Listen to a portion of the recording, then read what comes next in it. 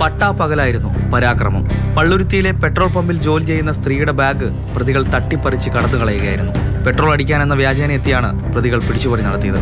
സ്ഥിരം കുറ്റവാളികളായ പള്ളുരുത്തി തങ്ങൾ നഗർ മുണ്ടക്കൽ മുഹമ്മദ് ഫാജർ തേവഞ്ചേരി പറമ്പ് വീട്ടിൽ ഷുഹൈബ് എന്നിവരാണ് പ്രതികൾ. ഇരുവരും എറണാകുളം ജില്ലയിലെ വിവിധ സ്റ്റേഷനുകളിലായി നിരവധി കേസുകളിൽ പ്രതികളാണ്. സംഭവം അറിഞ്ഞ ഉടൻ തന്നെ നഗരത്തിലാകെ വലവീശിയ പോലീസ് മണിക്കൂറുകൾക്കകം തന്നെ പ്രതികളെ പിടികൂടി. ഇരുവരെയും കോടതിയിൽ ഹാജരാക്കി റിമാൻഡ് ചെയ്തു.